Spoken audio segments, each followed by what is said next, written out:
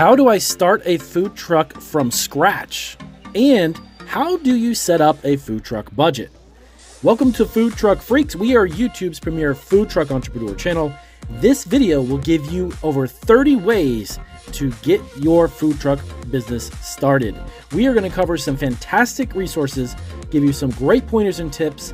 These 30 methods will help you understand what you should do to get your food truck started. We're going to get to that right now.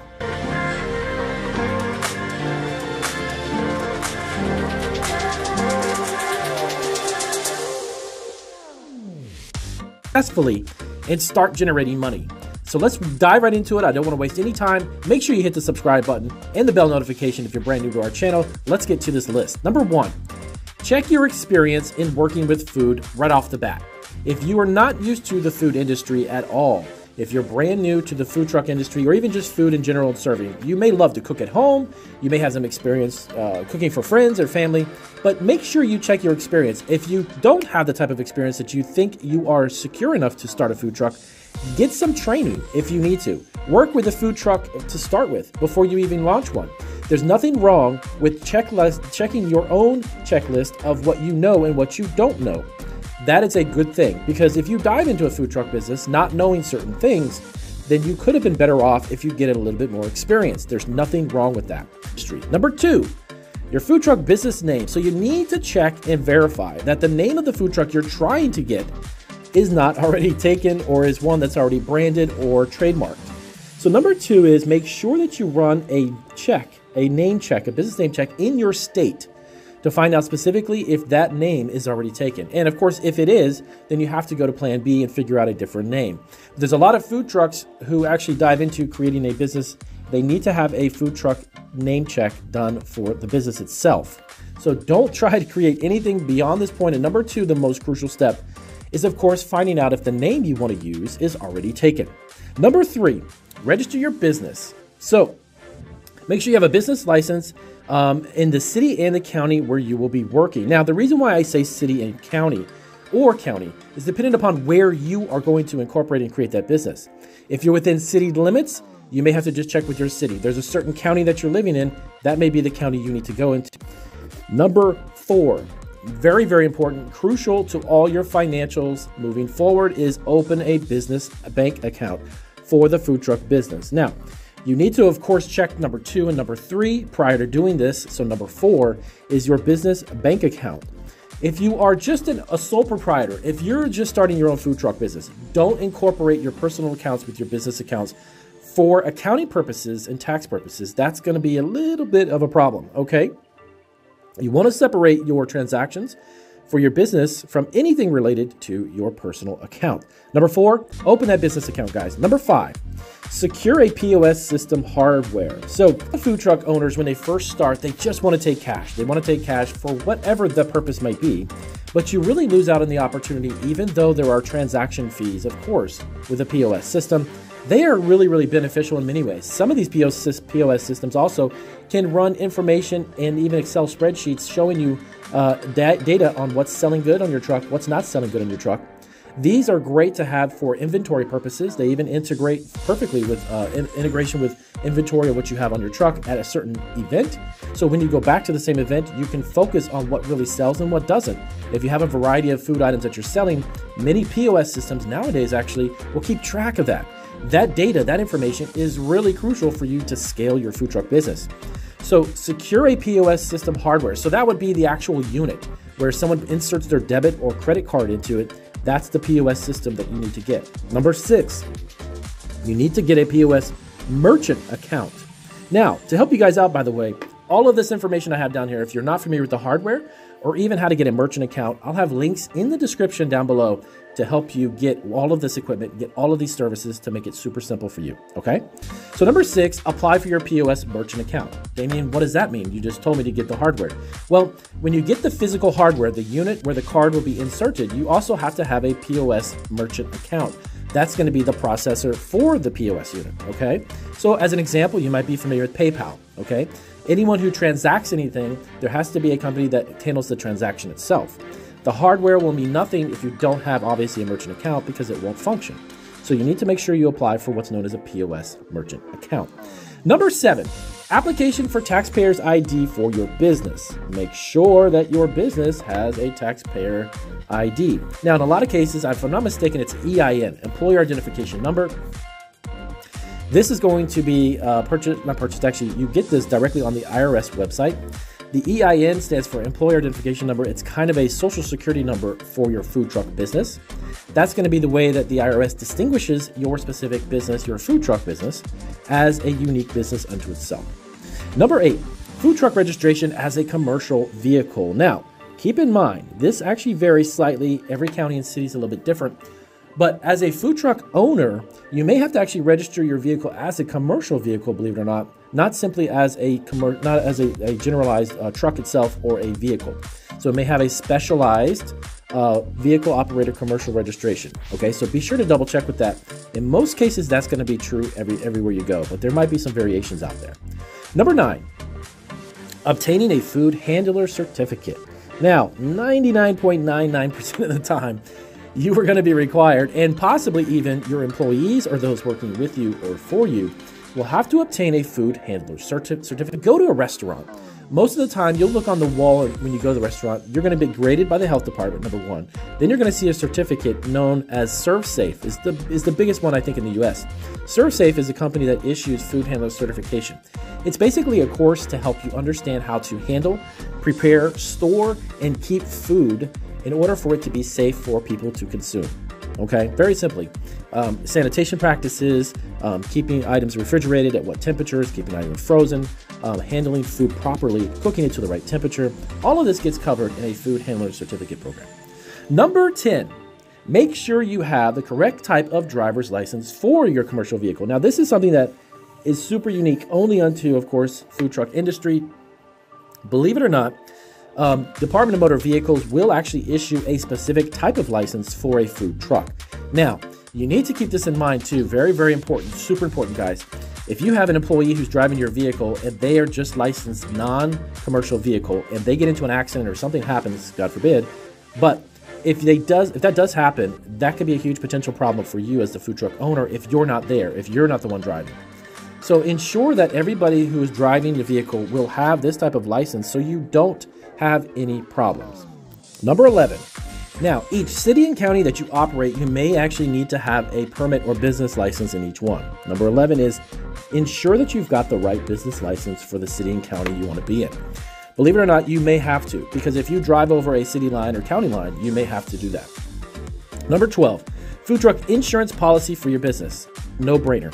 Simply put, your business as a food truck needs to have a liability pro- uh, uh, insurance policy in place, and you need to make sure that you have at least the state minimum for that food truck business. Number 13, if you have an office, keep in mind you may have an office somewhere. You may have a, which is actually a great idea because you can write this off as a tax expense. Don't operate necessarily from home. If you can rent a small space and you can use that as additional uh, write off for your business, you're going to need furnishings, office equipment, and all that as well. So keep that in mind. You need to function as a legitimate office, so you may have to invest in office furniture for your food truck office. Number 14, market research. So check the area where you want to produce your food product out of your food truck. Be sure to try to try to create something that's not in existence. If you have an opportunity, go to different food truck events, actually see what's around in your community. Try to create something that's unique that no one else is doing or take it your own spin on something that's old. If you want to do hot dogs, don't just do hot dogs. Do something that's really unique, gourmet, high end, a lot of toppings. You know, create something that's unique. But market research will help you create a, a menu that's not like everyone else. 15. Investment fundage. So, funding, funding, funding. You need to figure out how you're going to buy your food truck business. Whether you're going to access credit cards, loans, even family or friends, there's nothing wrong with checking with other people if they want to, if they believe enough in your business, let them invest in it. But also tell them, hey, I'm going to generate some sales and I'm going to pay you back with interest. That's going to help people like family or friends know that this is legitimate, this is serious, and you're going to do everything you can to succeed. Number 16, you can apply for bank loans for your startup. Actually, believe it or not, um, there are specific loans for food trucks and even food truck startups. Try to get yourself a bank loan. If you can use other people's money and get a great rate, hey, why not? Number 17, create an employee handbook. Now, this doesn't have to be 7,000 pages, guys. But if you have employees or if you're looking to create jobs and have others work for you, An employee handbook is simply stating, hey, this is what I expect from you for cleaning. This is the processes I'm going to implement and we're going to have for serving our food, storing the food. This is the type of customer service we expect. You can do that. As a matter of fact, you can Google it and you can download free templates of employee handbooks and then use that as a basic, um, a generalized uh, understanding of what's what's responded, what's respected, and what needs to have done for them on their behalf. So understand that every employee, you're going to have expectations. If you can spell that out in the employee handbook, you're going to be better off for it. Number 18.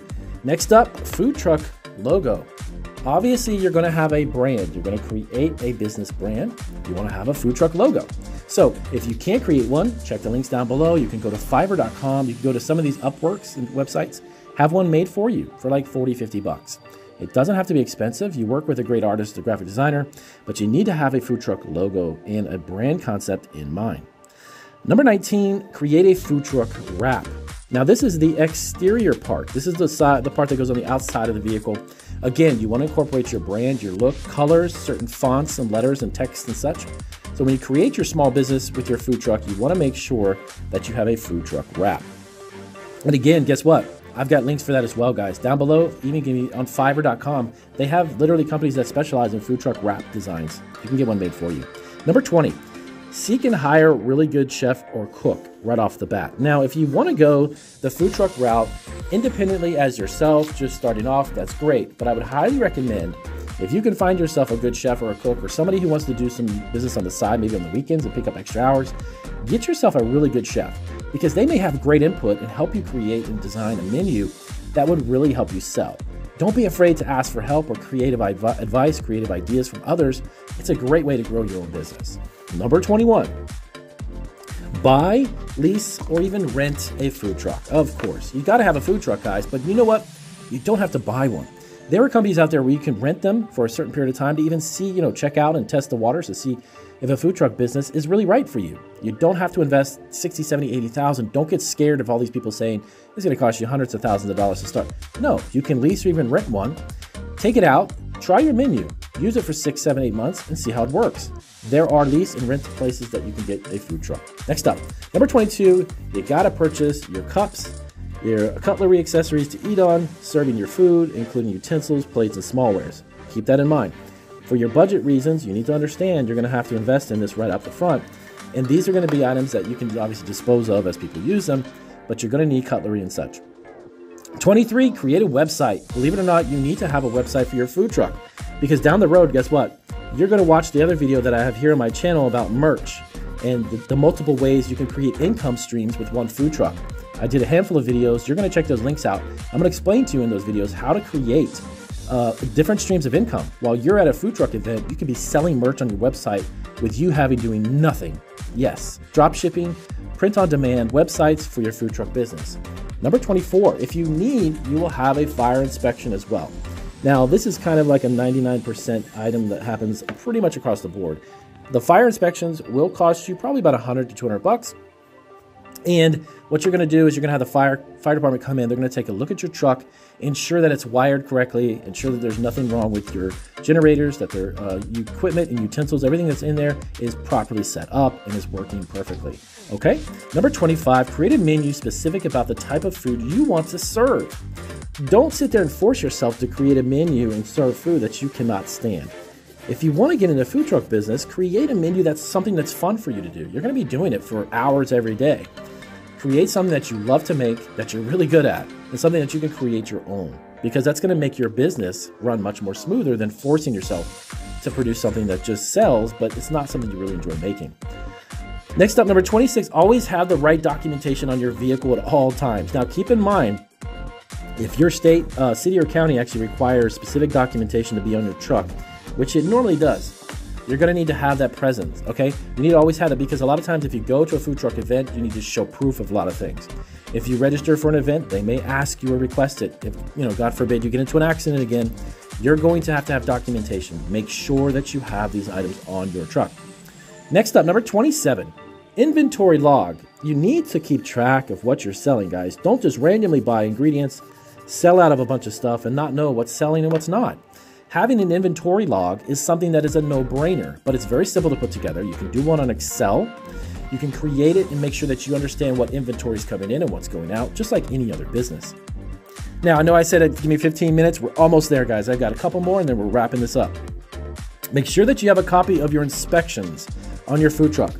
This is something that now sometimes sporadically, believe it or not, like in the restaurant industry, the health department may actually show up without notice. And if they need some documentation that you don't have and you, need, you don't have it on your vehicle, you could get into trouble.